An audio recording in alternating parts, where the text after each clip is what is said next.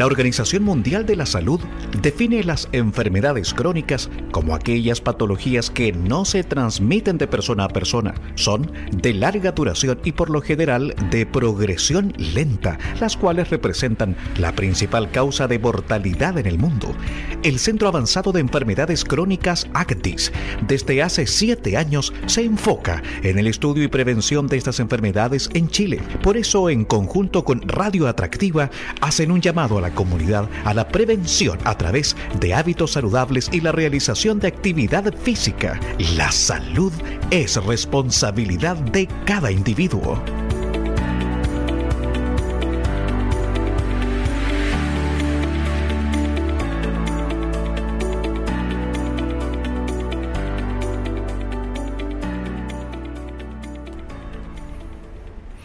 Así es como dice la, presentación, como cada semana estamos desde Atractiva FM con ACDIS en un nuevo capítulo para conocer diversos temas en el área de la salud. Hoy nos acompaña el doctor Alfredo Criollo. Él es bioquímico de la Facultad de Odontología de la Universidad de Chile, ACDIS, y con él vamos a hablar sobre eh, su reciente estudio que se denomina, comillas, identificación de un nuevo mecanismo para regular la autofagia asociada a la obesidad esto no me suena a nada, me suena a chilo, a chino en realidad. Así que, ¿de qué se trata? ¿Cuáles son los alcances? Eh, en fin, todo ese aspecto le damos la bienvenida. Doctor, ¿ya nos escucha? ¿Cómo está Alfredo? Hola Miguel, ¿qué tal? Buenos días. Buenos días, doctor. Eh, bueno, ha hecho una introducción allí eh, y rápidamente la, consulta es esa, ¿cierto? Conocedores ya del, reciente estudio que usted ha impulsado, eh, donde, bueno, me imagino han participado investigadores nacionales y de, y de, otro, de otro ámbito internacional también, para que nos hable de qué se trata esta investigación. Sí, eh, mira, básicamente nosotros estamos un proceso celular que se denomina, como tú ya lo mencionaste, autofagia. autofagia es un una palabra compuesta de dos vocablos eh, que tienen origen griego, que significa auto, que es uno mismo, y fagia, es digestión. Entonces, de ahí proviene esta palabra autofagia. Ya. Es un proceso celular que básicamente tiene que ver con la eh, degradación intracelular de componentes que eh, necesitan ser reutilizables o reciclados. ¿ah? Por lo general, nuestras células, en todos nuestros tejidos, van acumulando cierta, digamos, basura intracelular. Y la célula eh, tiene estos mecanismos para degradar estos eh, estas cosas que se van acumulando, esta, esta mugrecita, digámoslo así, y lo degrada para eh, obtener componentes más sencillos y simples que después va a utilizar cierto para otros procesos que la célula estime necesario en ese momento. Muy bien. O sea, para explicarle a nuestra audiencia, podemos decir que la autofagia entonces, porque suena, suena, sonaba difícil ya, eh, de entender y de, y de leer no es un proceso negativo, sino más bien eh, es un proceso normal y necesario en nuestro organismo. Exacto, exacto. Es muy eh, es, un, es un proceso, digamos, positivo porque ayuda a eliminar esta esta acumulación de material inservible. Imaginemos, por ejemplo, que la célula es como si fuese nuestra casa, donde nosotros necesitamos constantemente botar la basura que se va acumulando, los cachureos, una mesa que no, que no funciona bien, una silla. Y ahí hay varias opciones. O, por ejemplo, en el caso de una mesa descompuesta, o botamos esta mesa que nos sirve, o desarmamos la mesa y fabricamos una silla. Eso mismo hace la célula.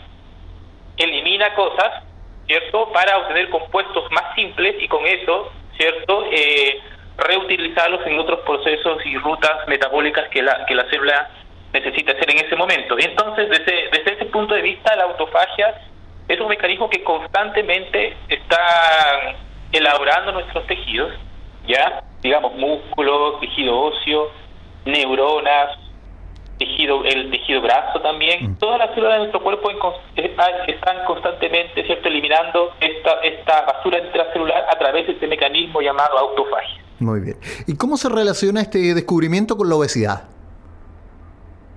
Sí, hay estudios muy interesantes ¿Mm? han eh, demostrado que eh, en esto, eh, no solamente en la obesidad, sino también hay otras enfermedades en las que se ha visto relacionado en que una atenuación o una disfunción en el proceso de autofagia induce fuertemente la obesidad. Ya esto principalmente hay estudios, bastantes estudios que se han hecho en, en otros mamíferos, principalmente en ratones de laboratorio. Mm. Esto ya estaba como bastante documentado de que cuando se atenúa fuertemente la, la, autofagia, cuando la autofagia no funciona bien, ya y esto en varios tejidos, esto genera obesidad. Y esto está íntimamente relacionado también con el consumo de ciertos alimentos. Eh, de hecho, el consumo exacerbado de eh, ácidos grasos saturados genera una eh, atenuación o una inhibición, digamos que la autofagia no funciona bien, en, eh, en neuronas de nuestro del hipotálamo, neuronas que controlan cierta esta sensación de hambre o saciedad. Sí. O sea, estamos hablando de frituras. ¿Usted se refiere, por ejemplo, a ese tipo de alimentación? Sí, o sea, los ácidos grasos saturados está presente en distintos tipos de alimentos, en frituras, mm. en, en, grasas que principalmente a temperatura ambiente son sólidas. Hay muchas grasas que a temperatura ambiente son sólidas, por ejemplo, estas las grasas de, ciertos alimentos presentes en la carne. Y, y, y, muchos de estos grasos saturados eh, se ha visto que afectan fuertemente la autofagia en distintos tejidos en, células que son capaces de regular nuestro metabolismo y por ende, ¿cierto?, se desarrolla este proceso de obesidad. Bueno, entonces... Eh, está claro y, esto, la, la, conversación es justamente para hacerle ver a nuestra audiencia eso. El mal funcionamiento de la autofagia entonces en las células puede generar claramente otra enfermedad. Este es un programa para prevenir y, hacia allá apunta mi pregunta, doctor. Sí, sí. Eh, es bueno entender, claro, porque es bueno entender cómo llevamos la parte de lo, de lo que ocurre a nivel celular, ¿cierto? De lo que ocurre a nivel, digamos, de de biología celular dentro de la célula, a lo que, ¿cierto? Como esto se refleja en un fenotipo, que nosotros es una persona obesa, una, una persona enferma. Y desde ese punto de vista la autofagia es, que haya autofagia es bastante, es, bueno. De hecho, eh, uno de los principales inductores inductores de autofagia. Ah, para inducir autofagia, un, un, estímulo importante de esto es el ejercicio. Hay estudios también muy lindos en, en, ratones que se les ha sometido a hacer un ejercicio controlado, que esto induce autofagia. Entonces, una manera como nosotros podemos inducir, digamos, eh, la, la degradación, ¿cierto?, de esta basura intracelular para que nuestras para que nuestras células y nuestros tejidos funcionen mejor es a través del ejercicio. El ejercicio es un fuerte inductor de autofagia. Sí. Ese, eh, eh, me imagino entonces es una de las eh, de los resultantes más directos, digamos, el ejercicio. Usted hablaba también de evitar algún tipo de, de, alimentación saturada. ¿Qué otro elemento le sumamos a esto que ya hemos dicho? no, no, le, no le entendí la última. No, no, que qué otros elementos, aparte del ejercicio y de evitar algún tipo de alimentos de, grasas saturadas, este, podemos sumarle eh, para, para el mejor eh, funcionamiento eh, de, la, de la autofagia. bueno, hay varios, varios estudios que no solamente los ácidos grasos saturados, sino también los, alimentos ricos, eh, potencialmente ricos en azúcares, también se ha visto de que son fuertes eh, eh, atenuadores de autofagia y impactan fuertemente en, el funcionamiento de muchos tejidos que están implicados, cierto, en el metabolismo, en el metabolismo y en el peso corporal. Sí que la estimulan. Eh, todas las, todas las frutas, las frutas, por ejemplo, porque la gente, creo que no somos tan buenos para, para comer fruta, entonces allí eh, el mensaje va dirigido hacia allá. Todas las frutas o algún tipo de fruta eh, con mayor concentración de azúcar que otras. No, o sea, todas las frutas son buenas, pero la idea del consumo de frutas es tener la dieta, ¿cierto? Siempre tener esto, esto que, siempre escuchamos a los nutricionistas de lo de la dieta balanceada. Mm. ¿Ah? Eh, necesitamos también siempre una buena cantidad de fibra y eh, lo más importante aquí, como bien digo, es tener una digamos una dieta balanceada y principalmente en los niños que siempre hay como un abuso en el consumo de alimentos ricos en, en, azúcares y que son todos estos alimentos, digamos, pro-obesogénicos, o sea, son alimentos que, que tienden a que, que, tienden a desarrollar este proceso de, de obesidad y que es es el fenómeno donde seguramente tenemos cierto este proceso de autofagio, de autofagia alterada, hmm. muchos de nuestros tejidos. Muy bien, se entiende perfectamente es, complejo, pero por eso es tan importante este tipo de, programas para em, intentar intervenir en, los hábitos alimenticios y en esto de que la alegría, la celebración y el estar tanto tiempo con nuestra familia, no juntos, digamos, eh, por razones laborales u otras, que eh, en el momento en que podemos, compramos un pollo con papas fritas, bueno, queda la, queda la crema, digamos, en el poco tiempo que es parte de la fiesta y del disfrutar eh, el habernos reencontrado. Así que pero bueno, eh, sí, sí, para eso es justamente que podamos abordar eh, este, este tema de la autofagia, que ya es un tema que, que no nos suena eh, tan, tan, este, tan habitual, pero que tenemos que ir incorporando como, como un hábito. Sí, mire, lo más importante es la, la dieta balanceada y evitar el sedentarismo. Sí. es muy importante. Mm. Yo tengo niños chicos y Sí, o sea, nos comemos, como usted, como, como tú acabas de decir, ¿cierto? El pollo con papas fritas, una hamburguesa, que no está mal. Los niños se comen los dulces, que está, o sea, los niños comen dulces, les gustan los dulces, pero lo más importante es, ¿cierto? La dieta balanceada y, tratar de evitar estos excesos en eh, dietas con, una cantidad de, azúcar, digamos, eh, exagerada, ¿verdad? Estas dietas ricas en ácidos grasos saturados pero la dieta es lo importante, la dieta balanceada y evitar el sedentarismo. Exactamente. Estamos conversando con em, el doctor eh, Alfredo Criollo sobre este tema eh, de la identificación de un nuevo mecanismo para regular la autofagia asociada a la obesidad. ¿Cuál es el próximo paso luego de esta investigación, doctor? Bueno, eh, nosotros hemos desarrollado estos estudios donde prácticamente hemos identificado algunos de los mecanismos que son necesarios para regular la autofagia. Eh, esto es un mecanismo como bastante complejo ya que, tiene que ver con muchos procesos bioquímicos dentro de la célula para poder degradar estos esta basura intracelular cierto y es ahí donde trabajamos en descifrar cómo, cómo ocurren estos estos mecanismos a nivel molecular entonces, la, próxima etapa, diría yo, es tratar, ¿cierto?, de, eh, a través de estos conocimientos, a través de, descifrar estos, estos, mecanismos, tratar de eh, encontrar terapias efectivas para combatir enfermedades donde la autofagia está involucrada. ¿ah?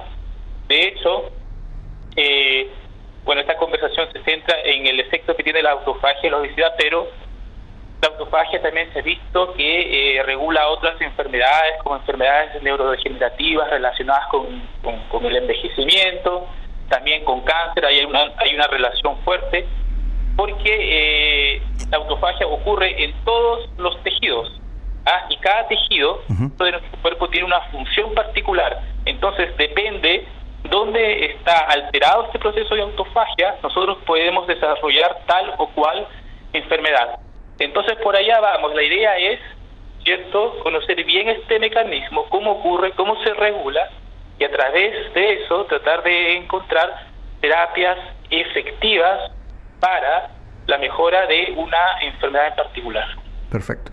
Cuando, cuando ustedes han hecho este... Este descubrimiento, ¿cierto? Eh, esta investigación ya va a ser publicada, ha sido publicada en, lo práctico, digamos, en la difusión. aparte hoy, en la radio, nosotros agradecemos tremendamente desde lo local. Eh, pero, ¿cuál es el, canal em, inmediato que, se dio luego de, eh, de desarrollada esta investigación, doctor? Sí, estos hallazgos... En lo formal, sí, eso. Estos hallazgos fueron recientemente publicados en una, en una revista eh, líder en el área del estudio de la autofagia, que fue publicado el, este año eh, pasado. O sea que los datos están allí. Eh, los invito a, a que si necesitan más información, ahí están, los, ¿cómo se llama? Eh, las, las, publicaciones y todos los datos que respaldan estos hallazgos. ¿Hay algún sitio en Internet que recuerde por el momento? Sí, sí, cómo no. Eh, está en en la base de, las, de todas las revistas hay un repositorio de revistas que se llama PubMed. ¿ah? Eh, ¿Me lo deletrea? No, no entendí mucho. ¿Eh? PubMed. Pub es de Publication, que es P-U-B larga. ¿Ya? ¿Ah? Med. M-E-D. Uh, PubMed. PubMed. Exacto. Eh, esta, ahí en esta, en este sitio, digamos, están todos los hallazgos científicos que están, eh, que se que se hacen a lo largo de todos estos años, y ahí se pueden encontrar todas las revistas. Este estudio fue publicado en la revista Autophagy. Hay una revista que se llama Autophagy que básicamente ahí se publican muchos de estos estudios relacionados con autofagia. Mm. Y eh, ahí se puede encontrar este estudio. Sí. ¿Y, se encuentra como identificación, así como lo, como lo anuncié yo, como identificación de un nuevo mecanismo para regular la autofagia asociada a la obesidad? ¿Con ese título? se puede encontrar, se puede encontrar con eh, el nombre de los autores. ¿Mm? Colocan mi nombre, Alfredo Criollo, o eh, también está forma parte este, de este, estudio el doctor Lavandero, que es el director del centro Actis y es eh, coautor principal de este, de este estudio. Entonces, con estos nombres puede encontrar la publicación. Muy bien. Doctor, se nos acabó el tiempo, pero nosotros desde Atractivo FM queremos, como cada viernes, hoy sábado, de manera excepcional, haber conversado con el doctor Alfredo Criollo, que es bioquímico de la Facultad de Ontología de la Universidad de Chile y de ACDIS, que nos ha hablado de este importante tema eh, para regular la autofagia asociada a la obesidad. Gracias, doctor, eh, por estar eh, enlazados y nos estaremos encontrando con usted y parte del equipo el próximo viernes. Perfecto. Muchas gracias por la invitación y feliz siempre de dar a conocer nuestros avances al público general. El Centro Avanzado de Enfermedades Crónicas ACTIS y Radio Atractiva FM te invitan a poner en práctica estas sencillas recomendaciones para tener una mejor calidad y cantidad de vida. Practica actividad física constantemente, aliméntate de manera saludable y evita fumar e ingerir alcohol. Pequeños pasos nos llevan a grandes resultados. Comienza hoy y sé un embajador de los hábitos saludables.